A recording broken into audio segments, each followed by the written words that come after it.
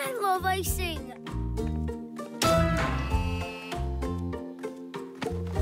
Oh!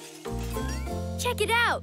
We are decorating cupcakes for my class party tomorrow. Oh, phew! Thank goodness for elephant ears! They sure do come in handy. I love marshmallows. Oh, what now, Mia? Now we pick a color from the color wheel. Huh? By mixing red, yellow, and blue, we can make almost any color. What? So let's see. Yellow and blue make green. Yeah, yeah, we're a team. and red and yellow make orange. Huh? The small marshmallows make you sporange? okay, got it. No marshmallows on the cupcakes. and red and blue make my favorite color, purple. Oh, oh, I have an idea, Mia. Why don't we make the cupcakes purple? Your favorite color. Uh-huh. Great idea, Velvet. Looks like we're making purple cupcakes. Okay, here's the game plan. Plan? What happened to the cupcakes?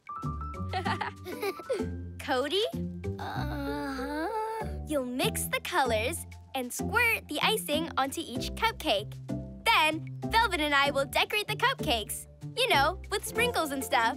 Whoa, team! We got this! Yeah! Velvet, can you please load the color blocks? Absolutely! Oh, Pickle! Oh, I think I need to lose the hat. Mix, squirt, and loop blocks. That should do it. It's time to... Run the code! Yellow, blue, mix. oh no! We wanted purple icing, not green. Uh-oh. Oh, oh my! Uh-oh. That's not purple. That's green. I like green. I think you'll like purple too. Ooh, what does purple taste like? Oh, this will not do! Velvet, maybe this time we should check the color wheel before we mix the icing. Time to get serious. See? Blue and red make purple. Let's make sure we code this right. Blue and red. Thanks, Velvet. And here's the loop block. Now, let's check the code. We need a sequence of blue, red, mix, squirt, and loop blocks. It's time to... Run the code! Blue and red mix. Then squirt the icing again and again. Purple! Now that's the stuff.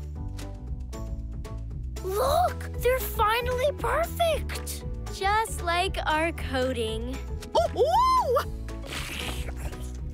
I love cupcakes. Codie! Codie, you're so funny.